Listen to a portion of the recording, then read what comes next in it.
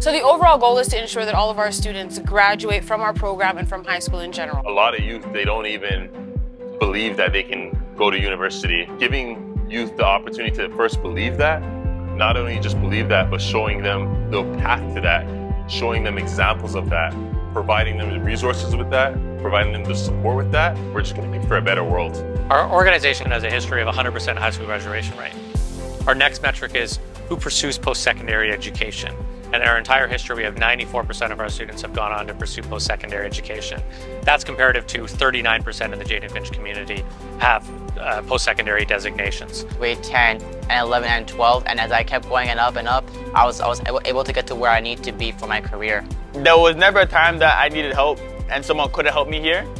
And they always, they always made sure that I got it done. Because if you, if you don't get homework done, you don't end up playing squash. And like obviously, as a young child, like that's not a good trade-off. Like might as well get the homework done and play squash, right? And then I have also achieved the scholarship last award ceremony for for $1,000. I also achieved 100% in my um, business course in grade 10, semester two and it was like really amazing. There's a combination of all things. If we just did homework, it wouldn't be as beneficial. If we just did squash, it wouldn't be beneficial. It's the fact that we're incorporating all of these things, plus the field trips is what makes it successful for the students. We went downtown to give back to the homeless. We packaged like clothes, food, etc. When I grow up, I would most definitely like to like help out to like people that are less fortunate. So squash definitely gave me like motivation to be able to like go out there, don't be scared, and you know give back to like people that are less fortunate. Before, I used to be frustrated and not as confident. I know I was very lost when I was younger. I was a bit feeling lost. But always been athletic though.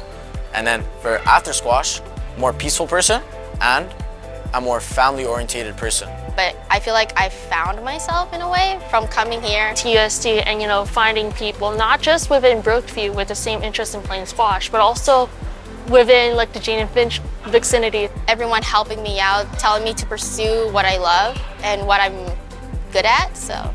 And coming out of it more open-minded and more appreciative of of our community. The encouragement and people, you know, like telling me positive things and just seeing people like how they're proud of me, it just, you know, really boosted me and really made me happy. Our middle school students are looking up to our high school students. Our high school students are looking up to our junior directors and everyone knows their path. So you have somewhere to look and somewhere to go. Okay, so I think if, if this guy can be like this and if this guy can be very successful, then maybe I, I could be successful like that too.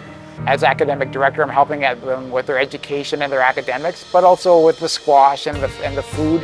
Uh, I think it, it eases the burden financially for these families, especially when inflation is up now and it's a lot harder to, to get the basic necessities here in Canada because of the economy and things like that. So I think we're helping in that way. You can have a kid come in this building and say, ah, I don't want to be involved with this. I'm just here for the, the snacks. All of a sudden, two weeks later, he's in love with squash, right? and you're going to see that confidence build off the court. Now he's going to be interacting with more students. He's going to be more receptive to the instructors. When he goes back to school, maybe it changes the way he operates. Maybe he's more open to learning in a different capacity. Our organization currently serves 117 students in the Jane and Finch community between grade 6 and grade 12. And we can only do that with the support of our community, with the help of our donors. Even though this isn't my family, it's like a second family to me. Everybody says this, but it's so true. Squash is a family. UST is a family.